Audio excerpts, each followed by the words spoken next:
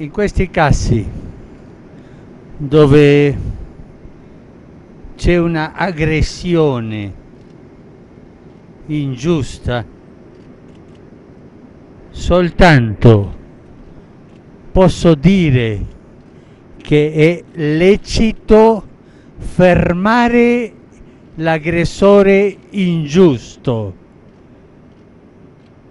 Sottolineo il verbo fermare. Non dico bombardiare, fare la guerra, fermarlo. Ma dobbiamo avere memoria pure, eh?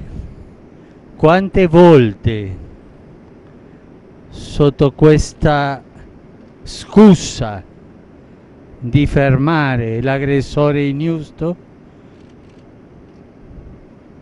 le potenze si sono impradonati dei popoli e hanno fatto una vera guerra di conquista.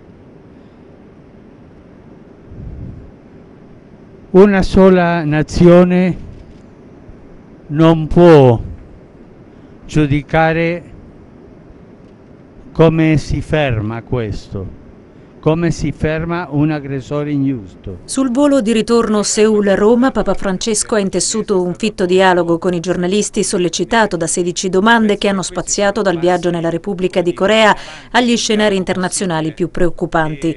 Dopo aver parlato della drammatica situazione in Iraq, dove il pontefice sarebbe anche disposto ad andare, l'attenzione è stata messa a fuoco sul Medio Oriente. Oggi il fumo delle bombe lascia poco spazio alla speranza di pace tra israeliani e palestinesi, ma Papa Francesco Francesco si è detto convinto che la porta del dialogo è aperta e che bisogna solo attraversarla.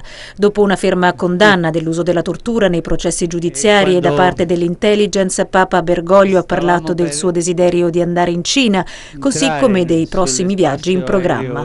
Certa la tappa a Filadelfia per l'incontro mondiale delle famiglie, cui potrebbero aggiungersi New York e Washington, probabili il Messico e la Spagna. Spazio anche alla vita condotta a Santa Marta, alle vacanze, all'insegna di di un ritmo diverso di vita con più lettura, più riposo e più musica e al rapporto con Benedetto XVI, un uomo saggio che ha aperto la porta alla figura del Papa emerito, una porta istituzionale e non eccezionale.